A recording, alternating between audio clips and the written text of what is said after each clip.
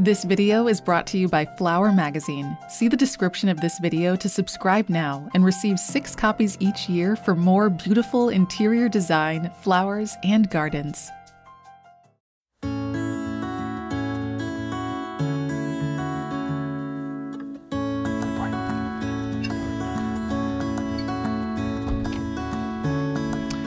Hello, I'm Lewis Miller with Lewis Miller Design. I am so happy to be here in Birmingham at Margot's house and I've got these amazing flowers, gorgeous dahlias from down the street, local dahlias, and some cuttings from the garden that I cut this morning. I just brought this uh, ceramic jug in from the house, out from the house, and I chose this vessel because it's got a nice sturdy weight to it. It's opaque, which tends to be my favorite style of vessel, which meaning you're not seeing the water inside, so you don't see the water as it turns brown, you don't see the stems and stuff. Um, and it's just a good weight to counterbalance the size of these dahlias, which have some major heft to them. So these are incredible, and I'm so happy to be using them. We've got this amazing array of color going from yellow to orange and peachy coral to cerise and ruby and dark, dark burgundy red. Um, I've got some really beautiful camellia here. It just looks like it's the beginning of the camellia blooming. It's this uh, pretty pink miniature camellia, which is a treat for me being from New York. We don't have this. And some abelia cuttings, some Russian sage. Um, I'm gonna start by filling this with water. I state the obvious, but you would be surprised.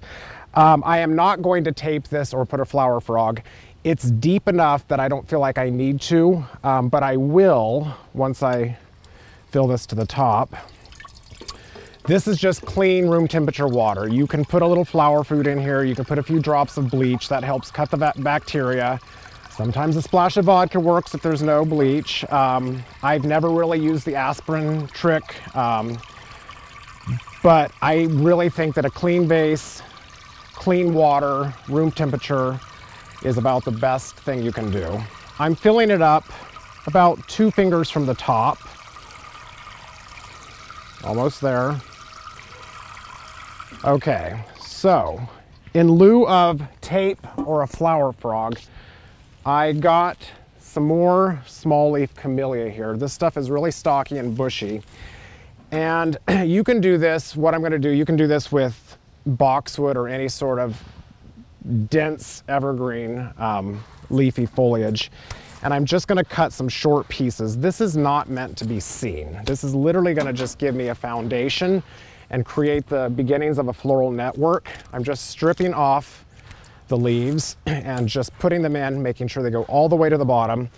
And this, like I said, is really gonna be more or less kind of a mattress. You're not, you're not gonna see these flowers. Um, it just starts to fill up some of the bulk that this, this is a wide vase, so it could really eat up the flowers fast um, and just creates the first layer.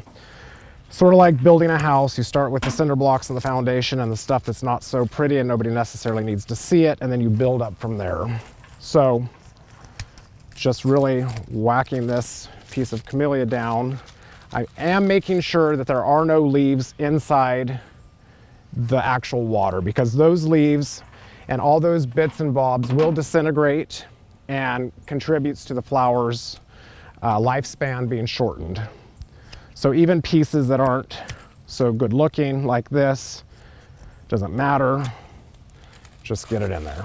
Now I'm working on a Lazy Susan, so I can spin this around.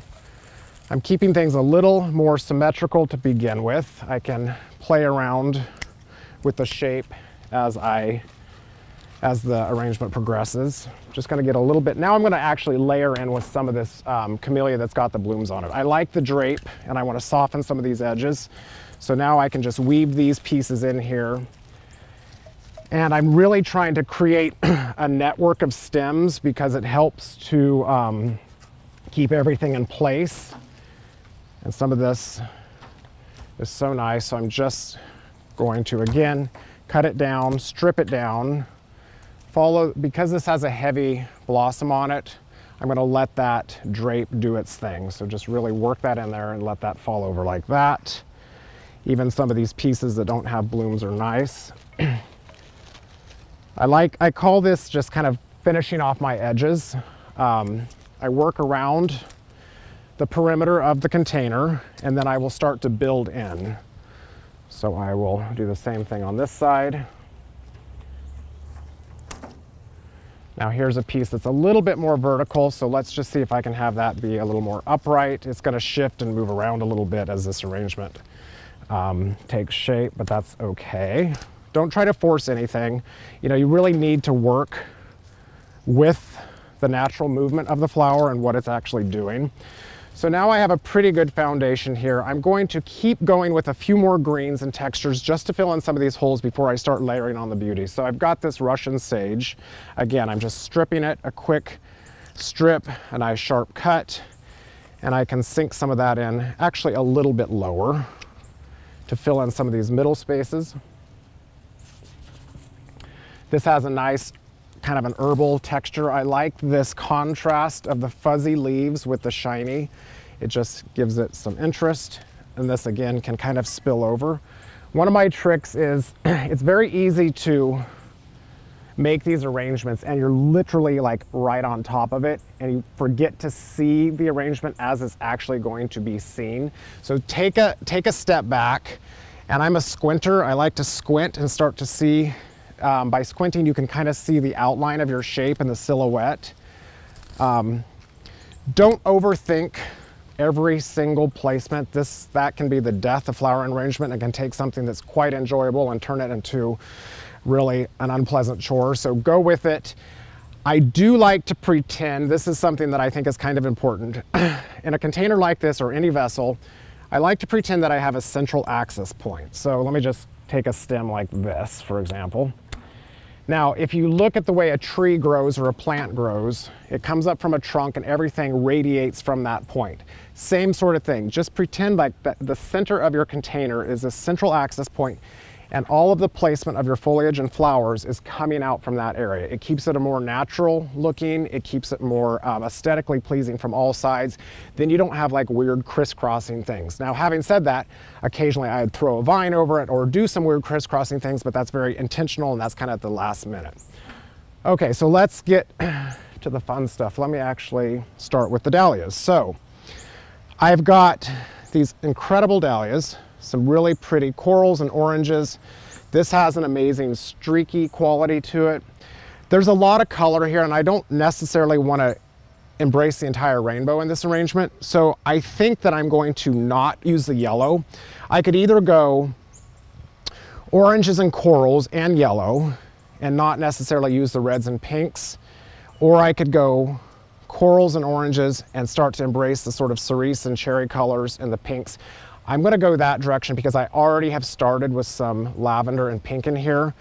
What I find fun about flowers is that you can really create a color scheme by looking at the actual flower. Like this dahlia right here has, it's an orange base with these amazing streaks, like they look like paintbrush streaks of a darker red. So that really incorporates these other colors. This one here has yellow in the base, so that ties in nicely with there, with, with the yellow tones. Um, and then some of these, even these kind of coral, start to tint a little bit purple pink and they look so beautiful together. So I'm going to start, this is the fun part, is like where do we begin? Um, I'm going to get a couple of large dahlias in deep. And these guys are the largest, so I'm going to nestle them in there and then some of these other more interesting shapes can radiate from there. So when you're working with flowers, again, take most of the leaves off. You want to do a sharp cut at a 45 degree angle. Now, always err a little bit on the longer side because you can always cut a stem and make it shorter. It's very hard to, to make a long stem, a short stem longer. So sharp cut, get it in there. Now there's a lot in my vase already, but there's still plenty of space. And I like the stems to go to the bottom of the vase. And the reason for that is as these flowers drink, and they tend to be heavy drinkers, this water level goes down. And since you're using an opaque vase, you're not necessarily seeing that water level go down. And lo and behold, two days later, the water's down here and your stems are way up at the top.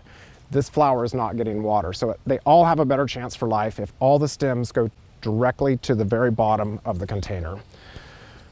All right, so I'm gonna get a couple of these in. I'll fill in both sides. Already it's like looking pretty good. And I will start to tuck in this really amazing ultraviolet plum color and pair with some of the pinks. So I'm kind of at this point, like I said, I'm trying to work around, but I'm kind of filling in the gaps. I can then start to pull in some of these stronger colors. Layering them, you want things to feel kind of loosely packed. You don't want your flowers to feel scrunched or really packed together, but you do want them to be close enough that you can enjoy the textures together. And it has this feeling like everything has space to sort of open up and do its thing. uh, levels. You're going to have high and low. You're going to have some tucked in lower so that you can see them in deeper. You're going to have some a little bit higher. It's very helpful to have this Lazy Susan just to spin around and work on your your overall shape and form, stepping back every once in a while, taking a look.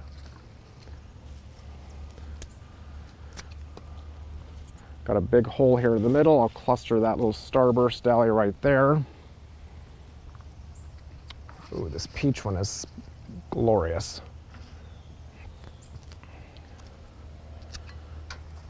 Filling out my edges.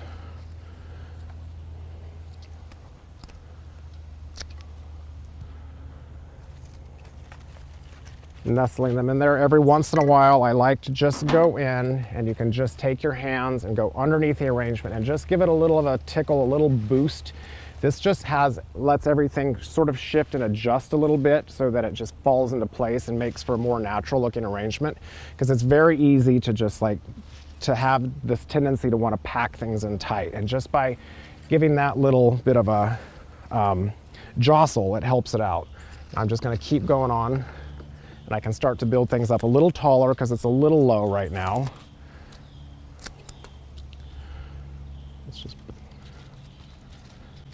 it's getting a little tight in there, but it's a nice network of stems. And as, as sort of chaotic and beautiful and messy and lush as this is, I know that what's happening underneath the water level is very clean. It's just a nice network of clean stems.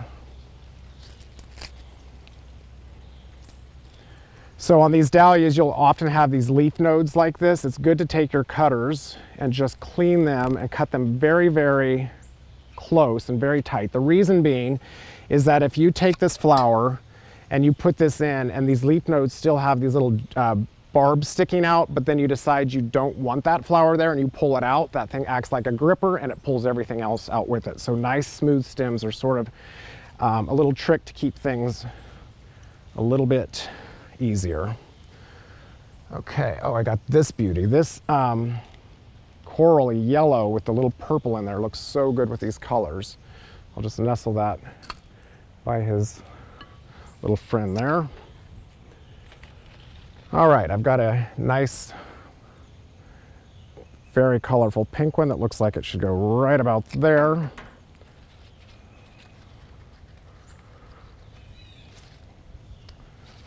Don't be afraid to take things out and move them. It's like you're not working in wet concrete. Things can be moved and shifted. There's no problem with taking the whole thing apart and trying it all over again if you need to. Okay, last I'm gonna add these really deep burgundy. I like the richness of these. It just helps to um, cut some of the sweetness and adds a little bit more of a autumn quality to it. And then I'm gonna finish off with a few more berries and textures and we're good to go. This one can be a little bit taller.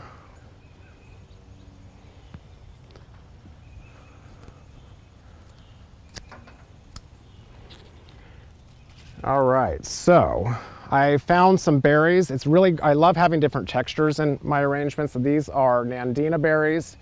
This was, there's one of these in the whole garden, so I hope that Margot doesn't mind. I took them. These would be, in about a month, turn brilliant, brilliant red. Right now they're green, starting to, tinge a little bit plum.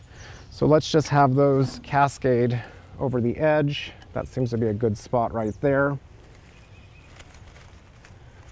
Okay, and then I have these amazing um, beautyberry, Callicarpa. So these gorgeous things, and they dry really nicely, they actually come off of the bush like this, where there's a lot of leaves. So I like to take a stem like this and take all of these leaves off.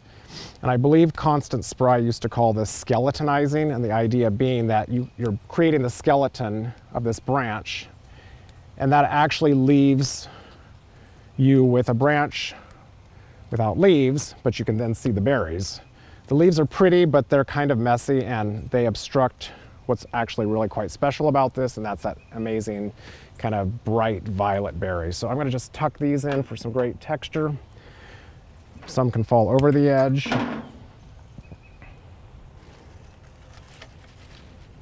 So pretty. they, uh, this purple picks up the color in this, um, I'm gonna go a little lower with this, the color of this purple with the streaks in this dahlia is really, really lovely.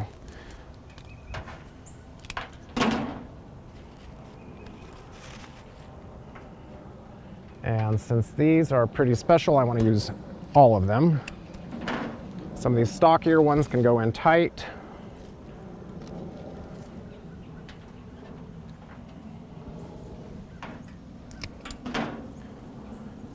Just filling all the way around. Paying attention to the underside, making sure that the edge of the container is finished off with a soft draping of leaves or something. Even go a little taller with this one. All right, I think I'm almost done. I have a little bit more of this beautiful pink camellia. I don't want to let it go to waste, so I'm going to be sure to use it up. And then at some point you got to learn to just stick a fork in it and call it a day. So I actually have a little bit of a hole here in the middle. So I'm gonna take this piece, strip the leaves and cluster this in tight right here. That fills in that gap. And then stepping back, seeing where I could use something to soften there. So that looks like the ideal place for this last piece of camellia.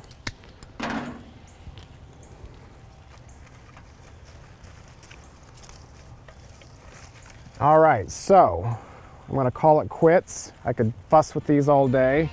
Point being, have fun, take greenery from the garden, enjoy beautiful local flowers. It's such a treat. Keep these um, in your house sort of away from vents and direct sunlight and you should get a good four, five, six days out of them.